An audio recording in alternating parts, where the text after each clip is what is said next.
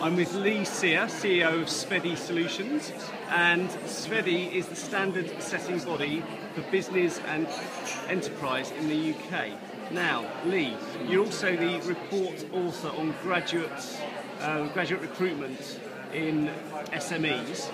Um, and this morning at the Graduate Employability Conference, you were talking about some of the findings from your report. Mm, yep. Now, what are, the, what are the headline stats that stand out from, from that piece of work? I think there's two or three headline figures. I think firstly there's a if we look at SMEs in the UK, about a third of employment is in businesses with less than 49 employees. But what we know is that only about 20% of graduates end up in those small firms, where in comparison, over you know nearly half of graduates end up in companies with more than 250 employees, even though they account for a very, very small proportion of the overall stock of businesses. So there's some sort of mismatch there between what the stock of businesses look like and where graduates are ending up. And I mean, you made the point that this isn't a um, an unknown fact. It's been something. It's been a gap that's kind of appeared over the last decade or more.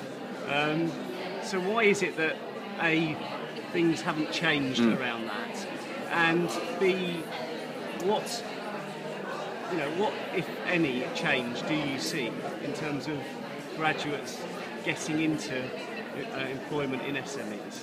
I think there's a couple of reasons why the, that, that gap, you know, is not closing. I think firstly is that there's tensions on either side, both for graduates and SMEs. You know, so SMEs we know recruit in different ways to larger firms, but I think there's most probably a the, the supply side getting an understanding of that. Uh, so things like professional development for careers professionals, uh, that issue most probably hasn't been addressed as effectively as it could over the last 10 years, which is why that gap maintains itself because there's a lack of information on either side about the value and the benefits of graduates working in SMEs, but also as SMEs as employers for graduates.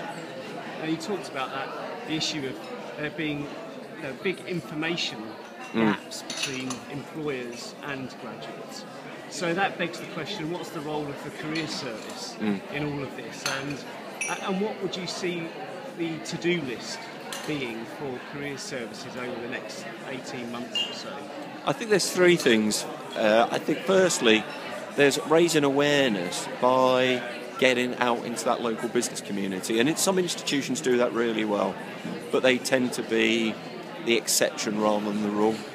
And that obviously reflects some of the cha- challenges that universities are facing in terms of what their role is in this current economic climate. But I think that's the first key one being active, that they're out there actively engaging with their local business community, those small businesses who tend not to know how to get into universities.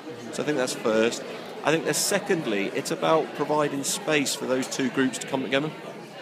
So why not just get a room, get some SMEs in that room, get some graduates. Don't give them any rules or regulations about how to use that space so they can just talk to each other, so they can develop an awareness of how they can add value to each other. And then I think thirdly, there is some issues around definitions of employability. So, you know, career services widening how employability is defined. And it's not about your ability to write a CV, it's about your ability to understand that, that's sort of like commercial awareness. As a graduate, what value do I bring to a business? What difference can I make to their business? Lucia, thank you very much. thank you.